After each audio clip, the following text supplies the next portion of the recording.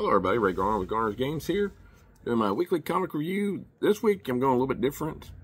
I'm going to be doing back-to-back -back issues since this was a prequel. This is Batman The Long Halloween, The Last Halloween. That's the prelude number zero. And there's number one. Now, both of these are written by Jeph Loeb. Tim Sales does the art of the first one, and then in the of the, of issue zero, I should say. Issue one, it's Eduardo uh, Russo. Can I just pronounce that? Um, and having never really been super knowledgeable of the original miniseries, uh, The Long Halloween, um, this is kind of a dry run for me. Um, it's kind of referencing the, uh, I'm guessing the events of the first one where we have the Halloween killer. This is a 22 um, pistol. Now we have the uh, main villain of the pre the uh, prequel is going to be Calendar Man, who now has these goons, which is kind of interesting. They all have shaved heads, and they have their month that they represent. Calendar Man is kind of obsessive about the whole date, though, so I'm sure everybody's date is their birth month. So that's pretty interesting. And they're going after Harvey Dent because they want Harvey Dent to join them. Um, Gilda Dent has returned to Harvey um, despite you know his disfigurement because this, this is set really not very long after Harvey Dent becomes Two Face, and he has Solomon Grundy as a, kind of a backup on this. And she's come back and she's basically going to stand by his side. Now, eventually, Calendar Man has his boys show up and capture her.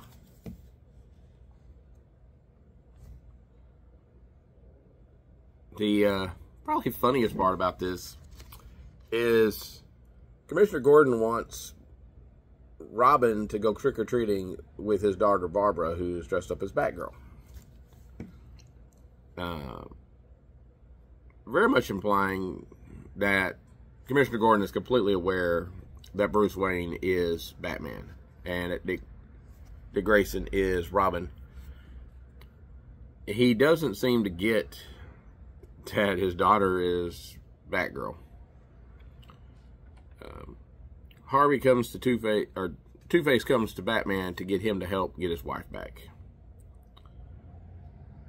Uh, when the bat symbol shows up in the sky and it's half broken out, Robin ditches uh, Barbara to go help Batman. And the whole plan, as we find out throughout the deal, is that uh, Batman has disguised himself as Two-Face to be the guy joining uh, Calendar Man. Why Two-Face and Solomon Grundy go and save Gilda. And Solomon Grundy basically grabs the explosives that are designed to kill everybody and, you know, basically dives on top of them so he can keep uh, Harvey safe. Batman beats down uh, Calendar Man, and then I do mean beat him down. And Two-Face and Gilda disappear into the night, and we end with uh, Jim and Bruce on the rooftop having a conversation about whether or not Harvey is the friend that they used to know, um, just changed by the accident, or is he always been Two-Face and the accident just brought it all to the surface. And then we get to issue one. Uh, only way about issue one it is razor thin. Issue zero, issue one. very thin on pages. Uh, so that is a little little bit of a complaint I have when you know five dollars a book. You know, it, that's kind of been a problem with comics for a while. Start off, Two Face is back in town.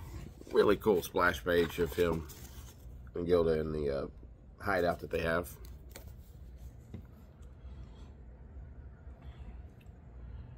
Uh, we're still trick or treating because it's, or not. I think this is supposed to be like a year later. Yeah, I think this is supposed to be a year later.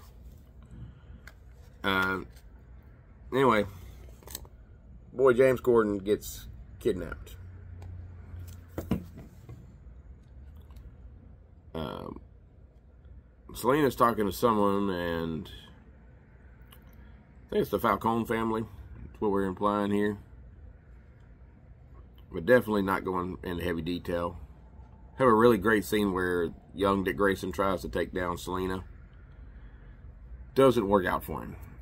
Batman goes to try to save him, but Dick actually didn't need saving. He managed to get free of the deal and land on his feet, despite having jumped so far. Getting mad at Bruce when he says, you know, that was reckless. What are you doing? You're letting her get away. I'm not a liability. I'm your partner.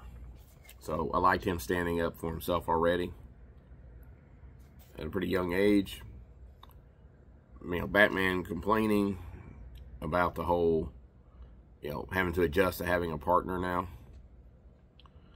Uh, they find what looks like to be a possible murder scene off to the side with a 22 and a busted um, Halloween um, jack-o'-lantern. Uh,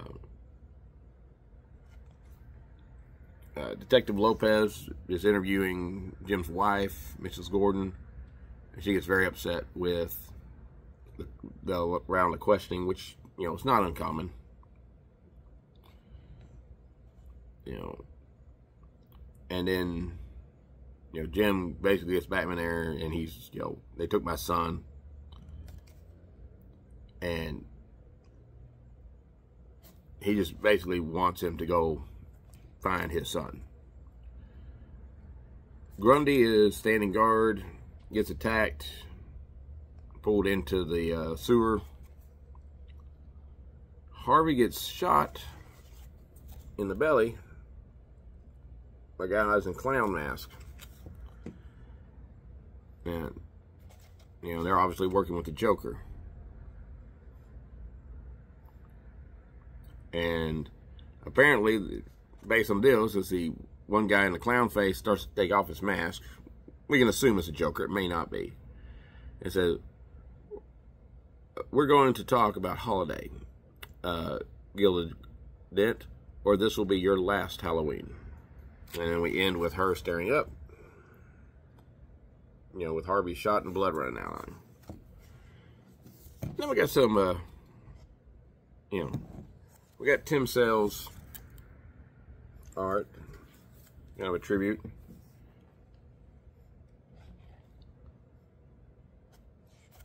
You know, a little bit of, you know, cool black and white scene here of the Robin jumping after Catwoman.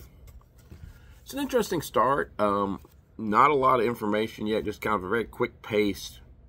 You know, boom, boom, boom. You know, Joker apparently is going after Two Face. Someone's gone after James Gordon. And, you know, Batman is dealing with Robin being a really active partner. Uh, obviously, several mysteries going on. You know, who took James? you know, what's the Joker's angle and how's Dent going to handle this. So, cool start. Really appreciate um, both books. You know, it's going to be a 10 issue miniseries. Uh, I think people will really like it. Um, and I love it when Batman is being more of a detective and having to stop being so dark and broody because, you know, he realizes there's more to life than just beating up thugs. And that's part of what Robin was brought in for, was to teach him that, you know, you can't be a hero and just be a vigilante. So, I'm looking forward to how this continues. Uh, this is a really good start for the series. Um, you do need to get both of these so you kind of know what's going on. And, you know, Same bat time, same back channel next week. Enjoy.